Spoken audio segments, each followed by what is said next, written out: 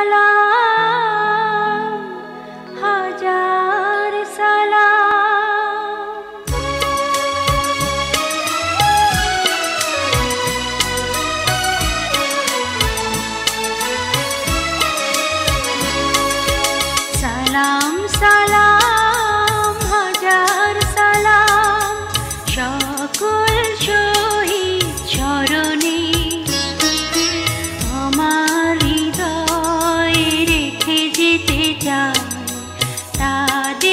স্মৃতির চরণে। সালাম সালাম আমার নাম আব্দুল মোতালেব বিশ্বাস, পিতা মৃত মাইনুদ্দিন বিশ্বাস, মাতা মৃত সালেহা বেগম, গ্রামের নাম চৌকিঘাটা পোস্ট বংখরি মানিকগঞ্জ সদর, জেলা মানিকগঞ্জ।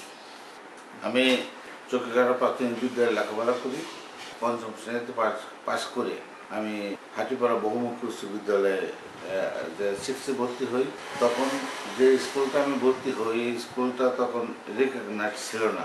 আমি ম্যাট্রিকটা দিই হলো ডিয়াবাড়ি স্কুলের মাধ্যমে এবং সেখানে থেকে আমি ম্যাট্রিক পাস করি।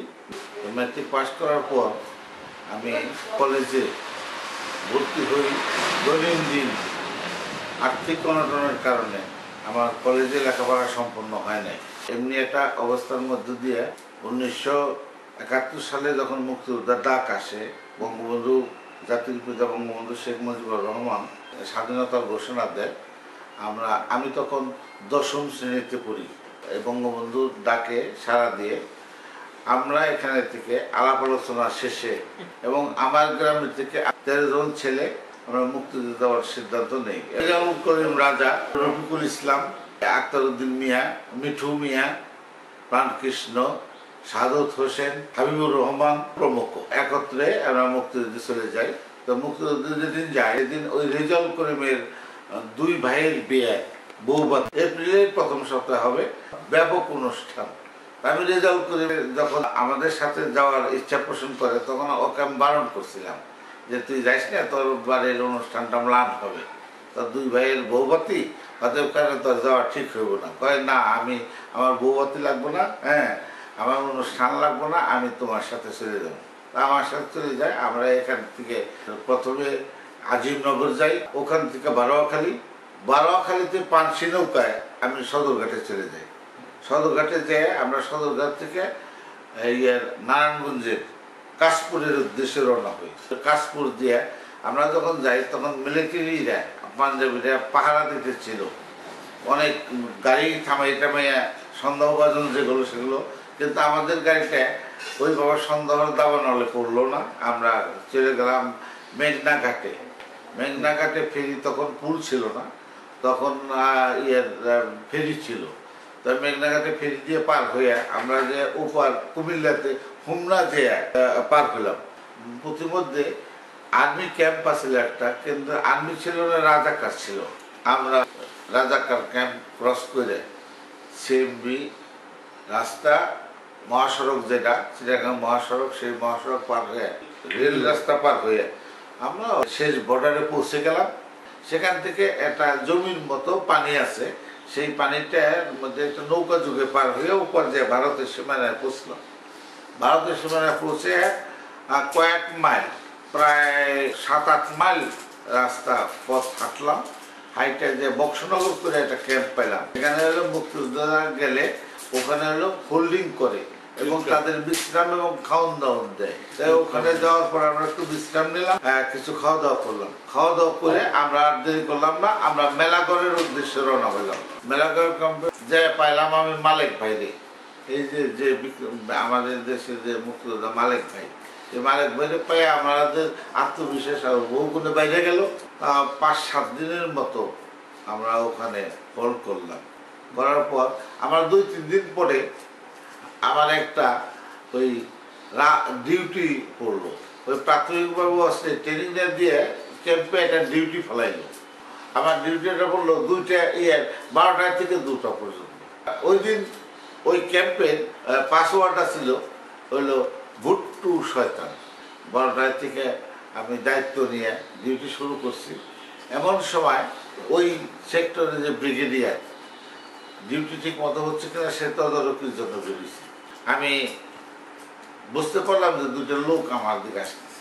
আমি প্রথমে লোক দুইটা দেখে আমি নির্দিষ্ট সীমানার মধ্যে যে আমি বললে সে শুনে, ওই পক্ষ শুনে, ওই পক্ষ বললে আমি শুনি।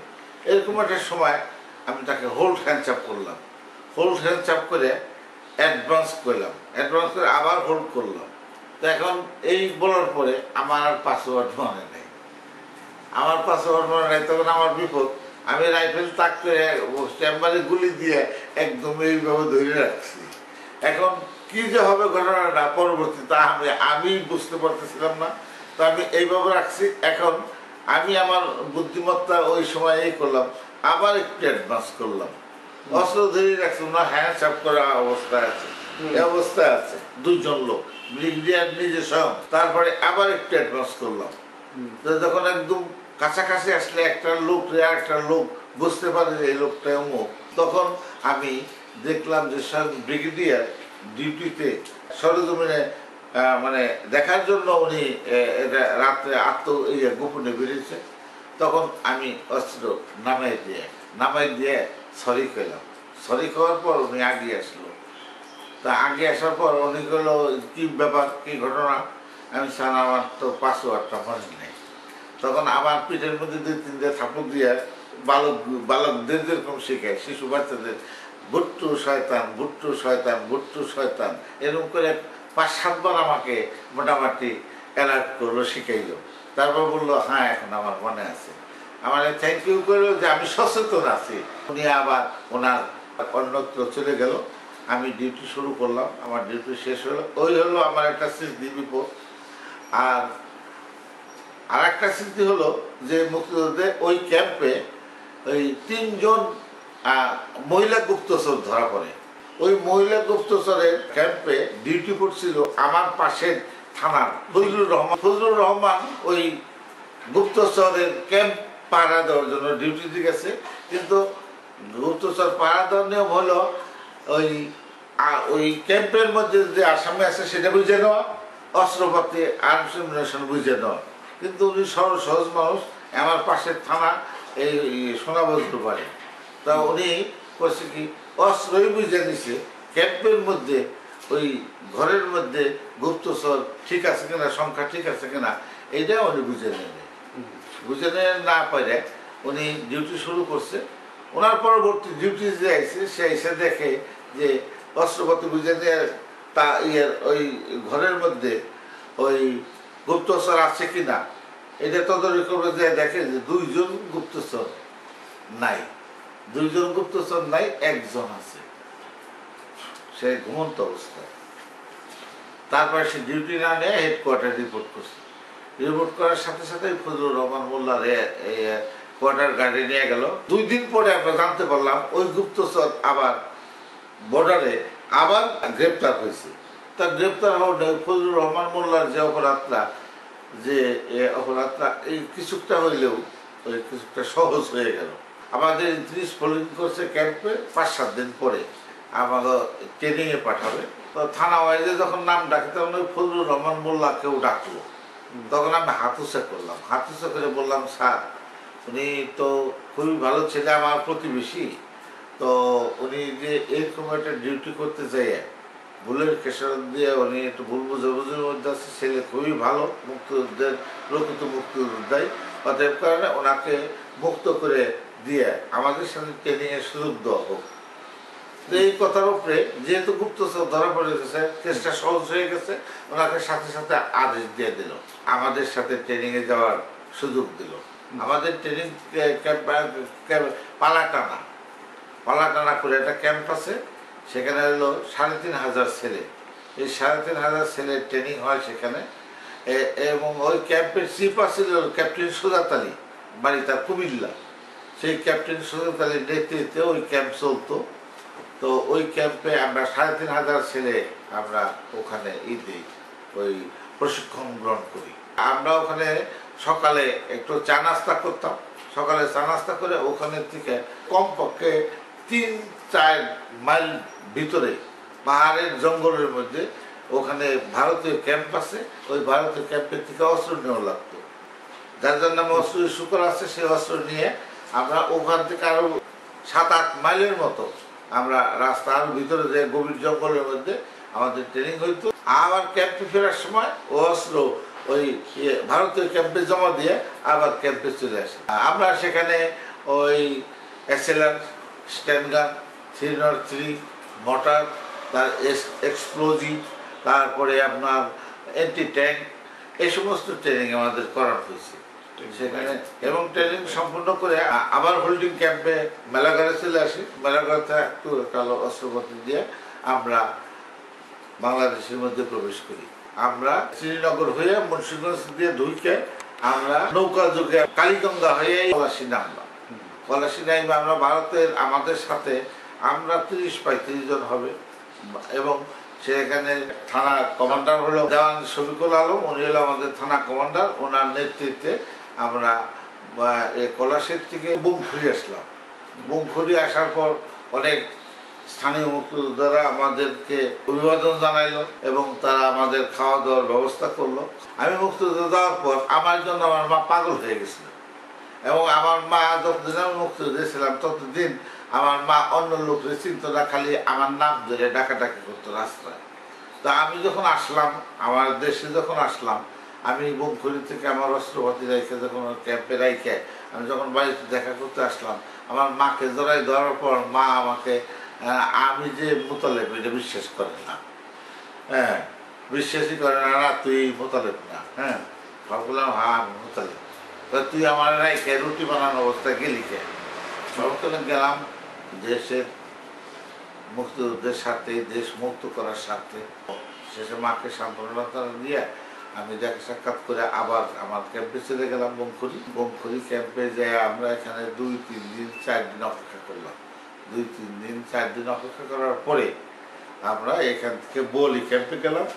বলি ক্যাম্পের থেকে আমরা গেলাম হলো জিটকা পুদ্দার বাড়ি জিটকা পুদ্দার বাড়ি থেকে আমাদেরকে পাঠাইলো দাসকান্দি। দাসকান্দি যাওয়ার তিন, চার দিন পরেই আমাদের ক্যাম্প আক্রমণ করল। কাক ডাকা ভরে শিশির ভেজা এবং আকাশে মানে মনে হয় শীতের চাদর মুড়ি দিয়ে খুব কুয়াশা, ঘন কুয়াশা। এমন সময় আমাদের ক্যাম্প দুইটা গানবোর্ড নিয়ে আমাদের ক্যাম্পে আক্রমণ চালালো, পাক বাহিনী। আমরা এটা ট্রেন না পাইয়া যার যার মতো আমরা ট্রোলিংয়ে গেলাম এবং আমরা আমরা যার যার মতো ইয়ে ব্যাংকারে গেলাম পজিশন লইলাম পজিশন লইয়া গোলাগুলি শুরু হইল। গোলাগুলি হওয়াতে ওই যুদ্ধে আমার এক সহযোগী মুক্তিযোদ্ধা আব্দুর রাজ্জাক, উনি গুলি লাইকে আহত হয়ে গেল। কিন্তু ওখানে পাক বাহিনীর দশ বারো জন, অনুমান দশ বারো জন, আরও বেশ কিছু পাক বাহিনী আহত হইল। এবং ওই এলাকার গোলাগুলিতে দুইটা গরুও মারা গেছিল। দুইটা গরু মারা গেছিল এবং বেসামরিক দুইটা মুক্তিযোদ্ধা না, স্থানীয় দুইজন লোকও ওই যুদ্ধে মারা গেছিল।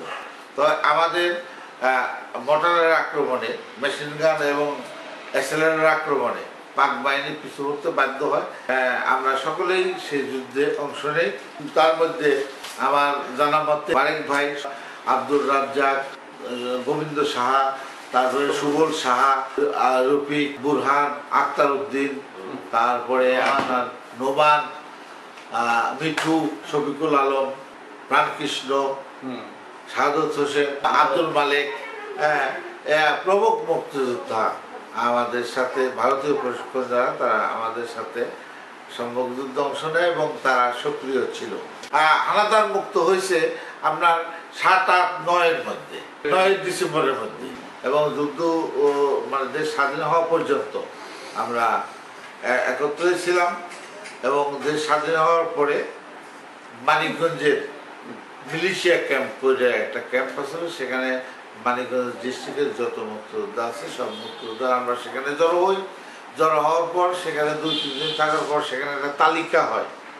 মুক্তিযোদ্ধার একটা তালিকা হয় এবং যার যার অস্ত্র এবং নাম্বার সহ আমরা তৎকালীন মহকুমা ছিল মহকুমা প্রশাসকের মাধ্যমে আমরা সুবিধার ইসুফ এবং ক্যাপ্টেন আব্দুল হালিম নেতৃত্বে অস্ত্র জমা দিয়ে আমরা মুক্তিযুদ্ধের থেকে বাড়ি চলে টোটাল বিজয়টা হয়েছে সারা বাংলাদেশে মানিকগঞ্জে ছিলাম। আমরা সেখানে বিজয় উল্লাস করছি। আমরা এদেশে স্বাধীন যে উদ্দেশ্যে করছি। যে উদ্দেশ্যে স্বাধীনতা ইয়েছি, পরাধীনতার জিঞ্জির থেকে মুক্ত হয়েছি। কিন্তু প্রকৃতপক্ষে আমাদের যে উদ্দেশ্যটা, প্রকৃত সব উদ্দেশ্যটা প্রকৃতভাবে সফল হয় নাই। কারণ এই দেশে এই স্বাধীনতার পরেও এই স্বাধীনতার বিপক্ষে এই দেশে একটা চক্র আছিল। সক্রিয় চক্র আছিল এই পাকিস্তানি এজেন্ট আছিল সেই দালালরা তৎপর আছে এই স্বাধীনতাকে ভিন্ন পথে নেওয়ার জন্য এবং এই মুক্তিযুদ্ধের প্রকৃতি ইতিহাস আড়াল করে একটা ভিন্ন স্টাইলে স্বাধীনতার যুদ্ধের একটা রেকর্ড ম্যাকর্ড মানে স্বাধীনতার যে ইটা ওই যে কি স্বাধীনতার ইতিহাসটাকে বিকৃত করার চেষ্টা করা হয়েছিল। তো আমাদের উদ্দেশ্য হলো যে সেটা সম্ভব হবে না। আমরা যতদিনের যতদিন মুক্তিযোদ্ধারা বাচ্চা আছি, সেটা আমরা অবশ্যই এটা মোকাবেলা করব এবং আমরা এটা বসে থাকব না। আমরা স্বাধীনতা রক্ষার জন্য, স্বাধীনতা আনছি, এটা রক্ষা করার দায়িত্ব আমাদের। আর আমরা, আমাদের সন্তানরা, আমাদের পরবর্তী আমরা তো বেঁচে থাকব না মুক্তিযোদ্ধার সংখ্যা অনেকটা কমে গেছে। এখন প্রায় মারা গেছে। এখন যারা আমরা বাচ্চা আছি আমাদের সন্তান যারা আছে, আমাদের পরবর্তী প্রজন্ম যারা আছে, তারা আমাদের সন্তান হিসেবে এই দায়িত্ব তারা কাঁধে নেবে।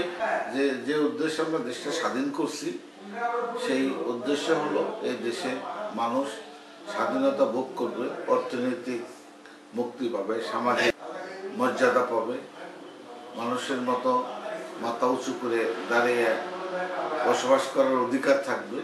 এই প্রত্যাশাই আমাদের। কাজে আমরা যেহেতু থাকব না আমাদের আশা হলো আমাদের সন্তান যারা পর- পরবর্তী প্রজন্ম তারা যেন আমাদের এই অবদানের কথা স্মরণ করে মুক্তিযোদ্ধার সপক্ষে এই দেশটা যাতে আরও সুন্দর চলে অর্থনৈতিকভাবে মুক্তি পায় আহ, এবং মানুষ তার অধিকার পায় আইনের শাসন প্রতিষ্ঠিত হয় তার জন্য একটা ভূমিকা রাখবেন।